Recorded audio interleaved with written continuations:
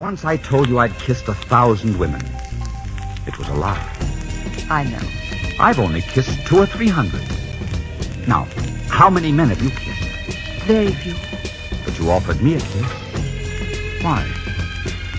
Such a foolish reason, I'm afraid.